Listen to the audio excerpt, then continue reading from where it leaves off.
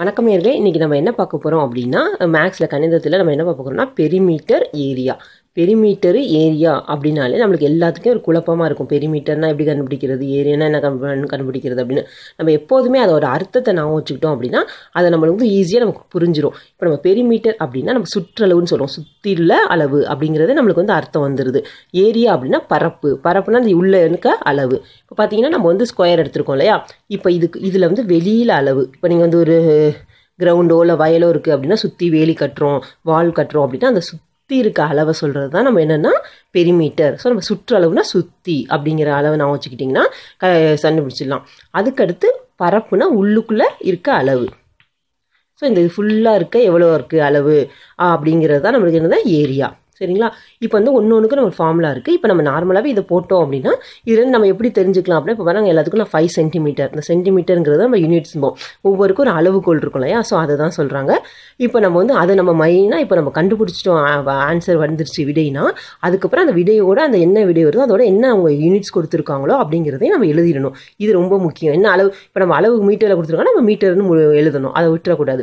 சரி இப்போ எப்படி கண்டுபிடிக்கலாம் அப்படின்னா நார்மலாக சுற்றளவுனா என்னது? நாலு பக்கமும் உள்ளது. ஸோ நீங்கள் எல்லாத்துக்குமே நமக்கு அளவு கொடுத்துட்டாங்க அப்படின்னா சுற்றி உள்ளதை நம்ம வந்து என்ன பண்ணிடலாம் அப்படின்னா கூட்டிடலாம். ஆட் பண்ணிட்டா முடிஞ்சிடுச்சு பெரிமீட்டர் ஃபார்முலா இருந்தாலும் நம்ம வந்து எப்போதுமே மேக்ஸில் பொறுத்தவரை ஒரு ஃபார்முலா போட்டு ஆன்சர் போட்டு விட்டக்கூடாது. கிராஸ் செக் பண்ணுறதுக்கு அது கரெக்டாக ஆன்சருங்கிறது நம்ம இன்னொரு வாட்டி செக் பண்ணி பார்க்குறதுக்கு ஒரு மெத்தட் இருக்கும் இல்லையா? ஸோ அதை தான் நம்ம சொல்கிறேன் இப்போ பார்த்தீங்கன்னா நாலு பக்கம். நம்மளுக்கு ஏற்கனவே தெரியும் ஸ்கொயருக்கு வந்து நாலு பக்கமும் ஒரே அளவாக இருக்கிறது. ஸோ அதுதான். இப்போ பார்த்தீங்கன்னா பெரிமீட்டருக்கு ஃபோர் இன்ட்டு சைடு ஏன்னா நாலுக்குமே ஒரே அளவு இருக்கிறதால அந்த சைடோட நாலை நம்ம என்ன பண்ணணும்? பெருக்கணும் மல்டிப்ளை பண்ணணும். இதே ஏரியா உள்ளே இருக்குது அப்படின்னா பார்த்தீங்கன்னா இது நம்ம வந்து இப்படி ரெண்டாக மடித்தா அப்படின்னா இதோட உள்ளளவு கிடச்சிடும் நம்மளுக்கு. நார்மலாக அப்படி ப்ரெட்டில் மடிப்போம் இல்லையா? ஸோ அந்த மாதிரி. ஸோ அப்போனா என்னது? அந்த சைடு இன்ட்டு சைடு அந்த ச அந்த ஒரு பக்கம் இன்னொரு பக்கம். அந்த ரெண்டு உள்ளே இருக்கிறதால வந்து இப்படி மடித்தோம் அப்படிங்கிற அளவு. இப்போ நம்ம நார்மலாக பெரிமீட்டர் கண்டுபிடிக்கணும் அப்படின்னு வச்சுக்கோங்களேன் நம்ம மனசால் இப்படி கண்டுபிடிக்கணும்னா நாலு பக்கத்தையும் நம்ம கூட்டினா போதும். பஞ்சா அஞ்சு பத்து பதினஞ்சு இருபது. ஸோ என்னது? இருபது தான் இதோட பெரிமீட்டர் சுற்றளவு வந்து இருபது சென்டிமீட்டர் சரியா? ஸோ இந்த இது வந்து இது எப்படி எழுதணும் அப்படின்னா ஸோ யூனிட்ஸில் முடிக்கிறப்ப வந்து ஸ்கொயர் சென்டிமீட்டர் அப்படிங்கிறத முடிக்கணும். சரிங்களா? இப்போ நம்ம வந்து பாருங்கள் ஃபோர் இன்ட்டு சைடு அப்படின்னா என்ன அர்த்தம்? ஃபோர் இன்டூ சைடு அப்படின்னா ஃபோரு நம்மளுக்கு வந்து ஃபைவ் அப்போ ஃபோர் ஃபைவ் சார் டுவெண்ட்டி வந்துருச்சா? நம்ம நார்மலாக என்ன இது ஃபார்முலா ஃபோர் இன்ட்டு சைடுங்கிறது பெரிமீட்டர் ஆஃப் த ஸ்கொயருக்கான ஃபார்முலா நம்ம என்ன பண்ணோம்? ஃபஸ்ட்டு என்ன பண்ணோம்? சுற்றளவுன்னு நம்ம தெரிஞ்சிருச்சு அர்த்தம். அப்புறம் எல் சுற்றி இருக்க அளவு. அப்போ நம்ம என்ன பண்ணால் போதும்? சுற்றி இருக்கிறத கூட்டிட்டோம். நம்ம வந்து அஞ்சு பத்து பதினஞ்சு இருபது. அப்போ நம்ம இருபதுங்கிறது ஆன்சர் நம்ம வந்து ஃபார்முலா அந்த இல்லாமல் நம்ம கண்டுபிடிச்சோம். இப்போ அதோட ஃபார்முலா என்ன இருக்குது ஃபோர் நம்ம சைடு என்ன? ஃபைடு ஃபைவ் அப்போனா என்னோட வந்து இருபது. ஸோ நம்ம போட்டதுக்கு அந்த அந்த இப்போ நீங்கள் இருபதுங்கிறது நம்ம கரெக்டாக அப்படின்னு செக் பண்ணால் நார்மலாக நம்மளுக்கு ஈஸியாக இருக்கும். அஞ்சு பத்து பதினஞ்சு இருபது அப்படிங்கிறது வந்துருச்சு. ஸோ இதோடது வந்து நம்மளுக்கு என்ன கொடுத்துருக்காங்க? சென்டிமீட்டர்னு கொடுத்துருக்காங்க. ஸோ நம்ம என்ன பண்ணிட்டா போதும்? பெரிமீட்டருக்கா பெரிமீட்டருக்கு இருபது ஸ்கொயர் இது சென்டிமீட்டர் ஸ்கொயர் சென்டிமீட்டர் அவ்வளோதான் பெரிமீட்டர் ஈஸியாக முடிஞ்சிடுச்சு. அடுத்து நம்ம என்ன பண்ண முடிக்கிறோம் ஏரியா உள்ளே இருக்க அளவு. உள்ளே இருக்க அளவுக்கு நம்ம ஃபார்முலானா என்னாலும் நம்ம நார்மலாக சொல்கிறேன் ரெண்டாக மடிச்சிருக்குது. அப்படின்னா இது ரெண்டையும் மடிச்சிருக்கோம் அப்படின்னு அர்த்தம். அப்போ இதையும் இதையும் நம்ம என்ன பண்ணுறாங்க சைடு இன்ட்டு சைடு இது ஃபார்முலா மாதிரி இருந்தாலும் நார்மலாகவே நான் சொன்னது இது மடிச்சிருக்குது ரெண்டு அளவு அப்படின்னா இதை மடிச்சா நம்மளுக்கு ரெண்டு பக்கத்துக்கு அளவை வந்து நம்ம என்ன பண்ணணும்? பெருக்கணும். அப்போ நார்மலாக நம்மளுக்கு என்னது? ஃபைவ் இன்ட்டு ஃபைவ் எவ்வளோ டுவெண்ட்டி ஃபைவ் ஸோ நம்ம வந்து ஈஸியாக இது பண்ணிடலாம். ஸோ இப்போ வந்து இந்த ஏரியாவுக்கு என்ன? இப்போ பார்த்தீங்கன்னா ஏரியா வந்து என்னது?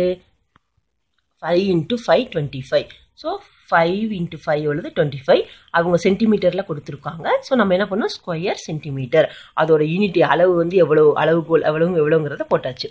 இப்போ நம்ம ஸ்கொயருக்கு ஈஸியாக முடிஞ்சிருச்சு. உங்களுக்கு நல்லா புரிஞ்சிருக்குன்னு நினைக்கிறேன். அடுத்து நம்ம வந்து ரெக்டாங்கிள் போகலாம் இப்போ நம்ம ரெக்டாங்கிள் பார்க்கலாம். இப்போ வந்து என்னது? ஸ்கொயருக்கு பார்த்துட்டோம். இப்போ ரெக்டாங்கிள் ரெக்டாங்கிள் நம்ம நார்மலாக என்ன சொல்லுவோம்? ஸ்கொயர்னால் எல்லா பக்கமும் ஒரே அளவாக இருக்குது நம்ம ஸ்கொயர்னு சொல்லுவோம். ரெக்டாங்கிள் என்ன? ஆப்போசிட் சைட்ஸ் ஆர் ஈக்குவல் அதாவது என்னது? இதுக்கு எதிர்ப்புறமாக உள்ள எல்லாமே என்னவாக இருக்கும்? அளவு வந்து ஒரே அளவாக இருந்தால் தான் அதை வந்து நம்ம ரெக்டாங்கிள் அப்படின்னு சொல்லுவோம்.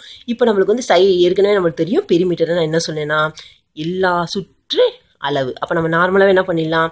அதுக்கு ஃபார்முலா இருக்குது two into L plus B எப்போதுமே நம்ம ஃபார்முலா மனப்பாடம் பண்ணாமல் இந்த இது எப்படி போடுறாங்க அப்படின்னு நம்ம யோசித்தோம் அப்படின்னா ரொம்ப ஈஸியாக ரெக்டாங்கிளை பொறுத்தவரையும் ரெண்டு ரெண்டு அளவும் என்னதான் இருக்கும்?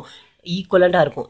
இது லென்த்து பிரெத் எல்லாமே ஒரே அளவாக இருக்கிறது தான் ரெக்டாங்கல் சொல்லிட்டோம் அப்போ ரெண்டு தான் என்ன இருக்கும்? அப்போ இதுவும் ஒரே நம்பர் இதே நம்பர் அப்போ ரெண்டு வாட்டி போடுங்க அப்படின்னு சொல்கிறாங்க அப்போ ரெண்டு வாட்டி என்ன பண்ணும்?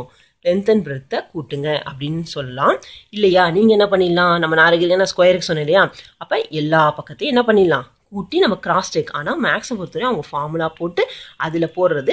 இது நீங்கள் இன்னொரு வேலை இப்போ வச்சுக்கிட்டீங்க அப்படின்னா செக் பண்ணி பார்க்குறப்ப அதுக்கு இதே ஆன்சர் அதுக்கு வருதா? அப்படி அதே ஆன்சர் இதுக்கு வருதான்னு செக் பண்ணிக்கலாம். இப்போ பாருங்கள் மூணா மூணு ஆறு எவ்வளோ? ஒம்பது. ஒம்பது இவ்வளோ? பன்னெண்டு. பன்னெண்டு இது பன்னெண்டு ஆறு எவ்வளோ? பதினெட்டு. ஸோ நம்மளுக்கு ஆன்சர் எப்படி வந்திருக்கு நம்ம மனசில் பொறுத்து போட்டு வச்சுட்டோம். நார்மலாக கூட்டிட்டோம். ஸ்கொயர் சென்டிமீட்டர் எழுதிடணும். ஸோ பதினெட்டு ஸ்கொயர் சென்டிமீட்டர் போட்டாச்சு. இப்போ நம்ம ஃபார்முலா போட்டு பார்க்கலாம். இப்போ என்ன சொல்கிறாங்க two into so two into மல்டியில் போட்டு ஃபஸ்ட் என்ன பண்ணோம்? லென்த்துங்கிறது நம்மளுக்கு இவங்க எவ்வளோ இருக்குது சிக்ஸ் இருக்குது சிக்ஸு இங்கே ப்ளஸ் இது எவ்வளோ இருக்குது மூணு இருக்குது ஸோ மூணு போட்டாச்சு. இப்போ நம்ம என்ன பண்ணுறோம் அப்படின்னா இதை நான் வந்து ரெண்டைக்குமே வந்து ஃபார்முலா போட்டு உங்களுக்கு தனியாக கிளியராக எழுதுறேன் இப்போக்கி நம்ம செம்ம போட்டு பார்த்துக்குறோம்.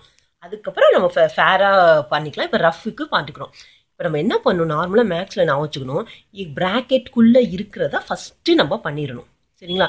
இப்போ ஆறு ப்ளஸ் மூணுனா எவ்வளோ ஒம்பது அப்புறம் ரெண்டு வேறு இருக்கா? அப்போ ரெண்டை மல்டிப்ளை பண்ண போகிறோம் அப்போ ரெண்டு டு ஒம்பது எவ்வளோ பதினெட்டா?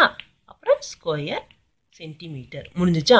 ஸோ நம்மளுக்கு ஆன்சர் வந்து என்ன பாருங்கள் நம்ம நார்மலாக சுற்றி கூட்டி வச்சுருக்கோம். ஆனால் நீங்கள் சுற்றி ப்ளஸ் ப்ளஸ்ன்னு போட்டு எழுதினாலும் ரெக்டாங்கிளுக்குங்கிறப்ப இப்போ வேறு ஷேப் இருக்குன்னு வச்சுக்கோங்களேன் ட்ரெபீசியம் ஆக்டகன் எக்ஸாகன் அப்படின்னா நீங்கள் நார்மலாகவே கூட்டி போட்டலாம் ஏன்னா அது இதுக்கு அத்தனைக்கும் எல்லா ஷேப்புக்கும் ஃபார்முலா கிடையாது. ஸோ ஒரு குறிப்பிட்ட அளவு கரெக்டாக இருக்கிற அளவுக்கு தான் நம்மளுக்கு ஃபார்முலா இருக்கும். ஸோ அந்த மாதிரி டைமில் நீங்கள் இந்த ஃபார்முலா இருக்கிறத யூஸ் பண்ணி தான் போடணும். இப்போ இது இது ஆன்சர் கரெக்டாக இருந்துச்சுன்னா நீங்கள் போட்டது கரெக்ட் அப்படின்னு அர்த்தம். எப்போதுமே நம்ம கிராஸ் செக் பண்ணிக்கணும் மேக்ஸ் வருது அடுத்து வாங்க ஏரியா. இப்போ நம்ம இதை ஃபுல்லாக முடிச்சிட்டோம். இப்போ இது. இந்த இலத்தை ஃபுல்லாக என்ன பண்ணணும் நம்ம? இப்போ அளவு என்னன்னு பார்க்கணும். அப்போ கிராஸாக மடித்தா இது ரெண்டு ஆப்போசிட்டாக இருக்குது சரிங்களா? அப்போ நம்ம வந்து ஒரே சைடுன்னு சொல்லிட முடியாது. லென்த்தையும் பிரெத்தையும் இன்ட்டு பண்ணணும். அப்போ லென்த் எவ்வளோ? ஆறு. பிரெத் எவ்வளோ? மூணு. அப்போ நம்மளுக்கு எவ்வளோ வருது? ஸோ இது பார்த்தீங்கன்னா இப்போ ஏரியாவும் என்ன வருது? அதே அளவு. இப்போ ஸ்கொயர் அங்கே என்ன கொடுத்துருக்கோம்? சென்டிமீட்டர் ஸோ சென்டிமீட்டர் சரிங்களா? இது வந்து ஸ்கொயர் யூனிட் ஃபார்முலா இப்போ பாருங்கள் நம்ம வந்து ஸ்கொயரும் கண்டுபிடிச்சாச்சு ரெக்டாங்கிள் கண்டுபிடிச்சா இதை நான் வந்து அப்படியே ஸ்டெப் பை ஸ்டெப்பாக எழுதி உங்களுக்கு காமிக்கிறேன். Perimeter and area of a square பெரிமீட்டருக்கு ஏரியாவுக்கு ஸ்கொயர் இப்போ நம்ம வந்து ஃபைவ் சென்டிமீட்டர் முன்னாடி பார்த்தது தான் இப்போ நான் பெரிமீட்டருக்கு என்ன பண்ணியிருக்கேன்? ஃபோர் இன்ட்டு சைட் அப்போ ஸ்கொயர் யூனிட்ஸ் யூனிட்ஸ் இந்த யூனிட்ஸுங்கிறது என்னென்னா அவங்க சென்டிமீட்டர் மீட்டர் கொடுத்தாங்கன்னா அதை வந்து நீங்கள் அப்படியே ஸ்கொயர் சென்டிமீட்டர் ஸ்கொயர் மீட்டர் அப்படின்னு போட்டுடணும் four into five twenty square meter நம்ம என்ன பண்ணோம்? பெரிமீட்டர் அப்படின்னா எல்லாத்தையும் ப்ளஸ் பண்ணோம். சுற்றி இருக்க அளவு எல்லாத்தையும் ப்ளஸ் பண்ணி பார்த்தோம் இல்லையா? அதே தான் இப்போ அடுத்து என்னது? ஏரியா ஆஃப் அ ஸ்கொயர் இப்போ சைடு இன்ட்டு சைடு சைடு எவ்வளோ? ஃபைவ் ஃபைவ் எல்லாமே ஈக்குவலாக இருக்கிறது ஸ்கொயர் நம்மளுக்கு. ஃபைவ் இன்ட்டு ஃபைவ்னா டுவெண்ட்டி ஃபைவ் ஸ்கொயர் இன்ட்டு என்ன பண்ணும்? ஸ்கொயர் போட்டு யூனிட்னா அங்கே என்ன கொடுத்துருக்காங்க? சென்டிமீட்டர்ல போட்டுருணும் அவ்வளோதான் இப்போ நம்ம area of a rec perimeter and area of a rectangle பார்க்க போகிறோம் இப்போ பாருங்கள் நம்ம ஏற்கனவே பார்த்த சம்ஸ் தான் சிக்ஸ் த்ரீ போட்டிருக்கேன் இல்லையா? இப்போ பெரிமீட்டருக்கு என்ன சொன்னோம் நம்ம? ஃபுல்லாக ஆட் பண்ணணும் அப்போ வந்து three six three nine six add பண்ணோம்னா எயிட்டீன் வந்துருச்சு. இதே ஃபார்முலாவில் போட்டு two into L plus B அதே தான் சொல்கிறாங்க பாருங்கள் எல்லையும் பியையும் ரெண்டு வாட்டி நீங்கள் என்ன பண்ணணும்? இங்கே ஆட் பண்ணிட்டு அது ரெண்டால் மல்டிப்ளை பண்ணாலும் ஒன்று தான் ஆனால் நம்ம அவங்க ஃபார்முலாவை தான் ப்ராப்பராக ஸ்டெப் பை ஸ்டெப்பாக போட்டு எழுதணும். ஏற்கனவே சொன்னேன் இல்லையா? ப்ராக்கெட்குள்ளே இருக்கதை ஃபஸ்ட்டு பண்ணிடணும். அப்போ லென்த்து பிரெத் எவ்வளோ? சிக்ஸ் ப்ளஸ் த்ரீ அப்போ நயன் அதுக்கப்புறம் டூ இன்ட்டு நைன் உங்களுக்கு வந்து அடுத்தடுத்த மேக்ஸில் வரப்போ அந்த ப்ரொசீஜர் சொல்கிறேன் ஒன்று ஒன்றுக்கு நம்ம ஆர்டர் படி தான் பண்ணணும் அப்படிங்கிறது தான் இருக்கும். ப்ரியாரிட்டி அது அப்புறம் பார்க்கலாம். டூ இன்ட்டு நைன் எயிட்டீன் அப்போ ஸ்கொயர் யூனிட்ஸ்னால் அந்த யூனிட்ஸ்க்கு வந்து என்ன பண்ணணும்? நீங்கள் எங்கள் சென்டிமீட்டர் கொடுத்துருக்காங்க இல்லையா? ஸோ அதை போட்டுடணும் ஸோ எயிட்டீன் ஸ்கொயர் சென்டிமீட்டர் இப்போ நம்ம ஏரியா ஆஃப் ரெக்டாங்கிள் பார்க்க போகிறோம் அப்போ எல் இன்ட்டு பி அதாவது இதையும் இதையும் மல்டிப்ளை பண்ணணும். இப்போ six into three equal to eighteen square centimetre இப்போ நான் உங்களுக்கு வந்து perimeter and area of the square and rectangle பார்த்துட்டோம். இதில் ஏதாச்சும் டவுன் டவுட் இருந்துச்சுன்னா உங்களுக்கு கமெண்ட் பாக்ஸில் போட்டுருங்க. உங்களுக்கு ரொம்ப ஈஸியாக இருக்கும்னு நினைக்கிறேன். அடுத்து நம்ம வந்து அடுத்த சாப்டரில் நம்ம மீட் பண்ணலாம். இது உங்களுக்கு பிடிச்சிருந்துச்சுன்னா லைக் பண்ணுங்கள் ஷேர் பண்ணுங்கள் சப்ஸ்கிரைப் பண்ணுங்கள்